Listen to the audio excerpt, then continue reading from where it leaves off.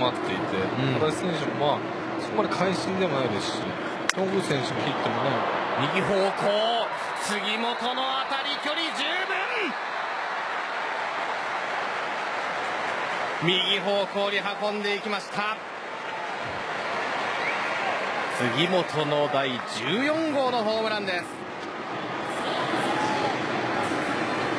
いやー逆方向に今成さんあの飛距離そうですね僕はあのあまりいい当たりがないですね 言ってるタイミングだったので、へーあれでしたけどでも杉本選手らしくないホームランですよねうんでも打った瞬間でしたねそうですね。さあ、杉本。ああ、勝負テンポをました。うーん。